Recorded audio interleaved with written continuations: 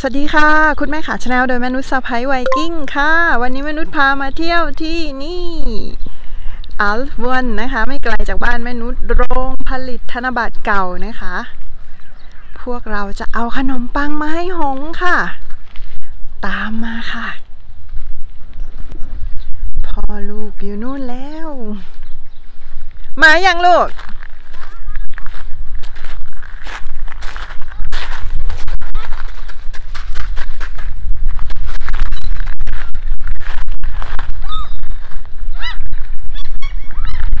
นี่ มาแล้วค่ะ มาแล้วมาแล้ว มีตัวเดียวเอง หงค่ะ เอาขนมปังมาให้หง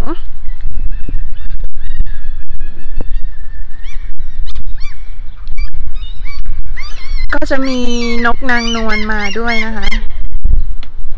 นกนางนวล มีแค่ตัวเดียวเองค่ะหง เป็ดไม่เห็นมีเลยเห็นเป็ดไหมลูกเรียกเป็ดมาสิ นกนางนวลนกนางนวลมาแล้วมาแล้ว อากาศไม่ค่อยดีเท่าไหร่ค่ะ แต่ก็ไม่ถึงกับแย่นี่ไม่ได้เห็นเป็ดมาแล้ว เป็ดมาแล้ว ระวังระวังลูกระวังมันจะตกน้ำเนี่ยเอามาให้มันตรงนี้นี่มาแล้วเนี่ย เห็นไหมมาตรงนี้แล้วเนี่ยย่านั่นมาแล้วลูกพอซิกติระวังตกนะหมดแล้วเหรอ หมดยังลูก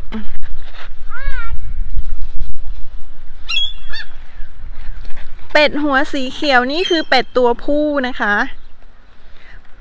หงน่าจะยังไม่โตเต็มวัย เพราะว่าถ้าโตเต็มวัยเขาจะอยู่กันเป็นคู่ค่ะ ระวังตกน้ำนะพอซิกเด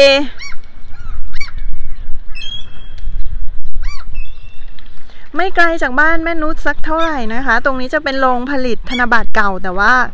ตอนนี้ไม่ได้ใช้งานแล้วแม่นุชเคยพามาเอ่อ ตอนสปริงนะคะ ก็นานแล้วเหมือนกันที่ไม่ได้ผ่านมา ส่วนมากคนก็จะมาเดินเล่นออกกำลังกาย แล้วก็จะมาขี่ม้าอะไรประมาณนี้ค่ะ ตรงนี้ก็แถวแถวๆนี้ก็จะเป็นท่าเรือนะคะ คนนอร์เวย์ชอบที่จะมีเรือประมาณนี้กันนะคะ บรรยากาศดีมาก วันนี้เป็นวันศุกร์นะคะ แล้วก็เป็นซัมเมอร์คนไปพักร้อนคนก็เลย ไม่ค่อยเยอะสักเท่าไหร่ค่ะ เป็ดมาอีกแล้ว เป็ดมาอีกแล้ว ตัวสีน้ำตาลคือตัวเมียนะคะ ถ้าตัวหัวสีเขียวจะเป็นตัวผู้ค่ะแถวนี้นะคะก็จะมีคนพาหมาพาอะไรมาเดินเล่นก็จะมีนี่ถังขยะสำหรับใส่ขี้หมานะคะ ต้องมีไว้เพราะว่าหมาที่นี่ คนที่เลี้ยงหมาจะต้องมีสายจูงนะคะ นี่สวนสาธารณะ เวลาพามาจะต้องมีสายจูง พกถุง แล้วก็ถังขยะสำหรับทิ้ง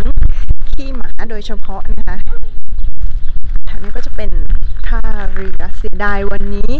อากาศไม่ค่อยดีสองสาวของมนุษย์แล้วก็คุณสาค่ะกำลังให้อาหารเป็ด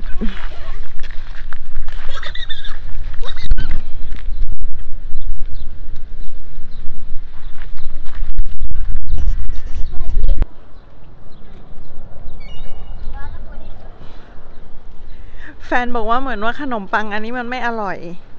หงแล้วก็นกเป็ดไม่ค่อยชอบว่างั้น นกนางนวลเริ่มบินมาแล้วนะคะ เริ่มเห็นพวกเราให้อาหารก็จะเริ่มบินมา เริ่มบินมาเยอะเลยค่ะ มันหนาว ไม่ได้ใส่เสื้อแจ็คเก็ตสาวน้อยยังให้ไม่หมด ไปแล้วลูกพอแล้ว โอเคค่ะสำหรับวันนี้ก็ประมาณนี้แหละนะคะมนุษย์พามาเที่ยวแถวแถวๆบ้านค่ะ มาให้อาหาร กันนะคะสำหรับวันนี้คลิปนี้มนุษย์ก็ขอบคุณทุกการติดตามรับชมนะคะ ฝากไว้สำหรับช่องคุณแม่ขา Channel นะคะ แวะเข้ามาแล้วก็อย่าลืมนะคะเพื่อนๆ ทิ้งคอมเมนต์ไว้ก่อนจากไปกดไลค์ กดแชร์ กด subscribe ค่ะสำหรับวันนี้คลิปนี้ร่ำลากันไว้เพียงเท่านี้ค่ะ bye ค่ะ bye